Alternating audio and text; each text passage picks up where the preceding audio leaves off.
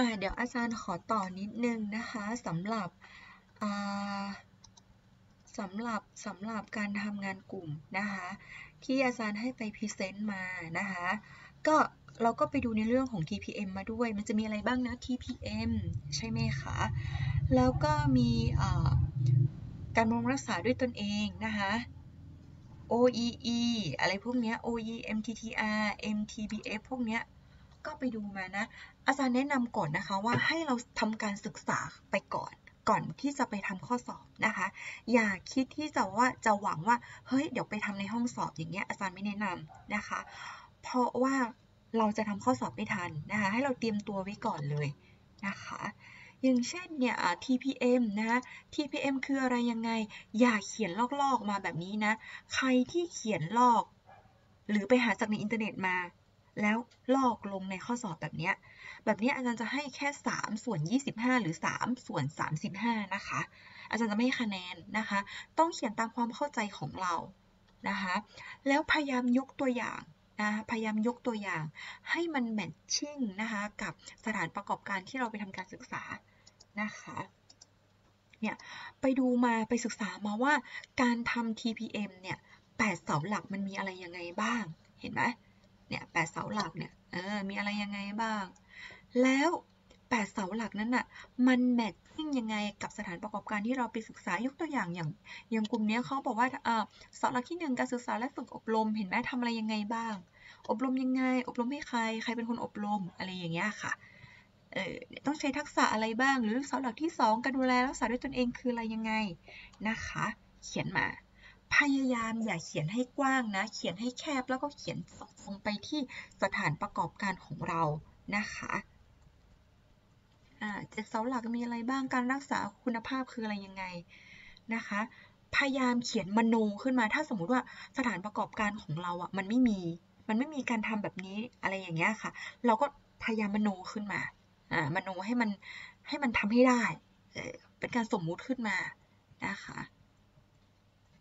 อะไรอย่างเงี้ย อันนี้สำหรับ TPM อ่า TPM อะไรอีกบ้าง อะ ถัดไปนะคะ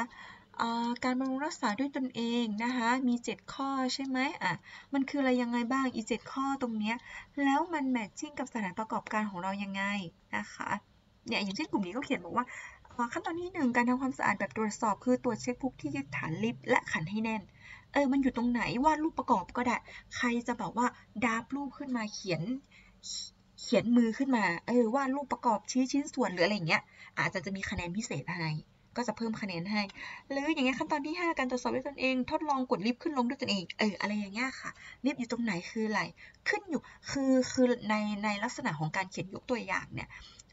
แต่ละคนแต่ละกลุ่มจะเขียนไม่เหมือนกันเลยนะคะ จะเขียนไม่เหมือนกันเลย จะไม่มีแบบ ไม่น่าจะมีการซ้ำกันเกิดขึ้นนะคะ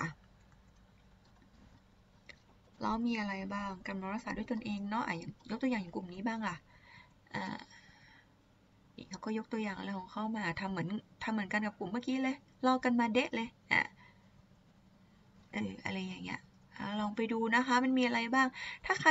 ถ้ากลุ่มไหนสามารถที่จะหรือใครที่ทำข้อสอบว่าสามารถหา MTBF ได้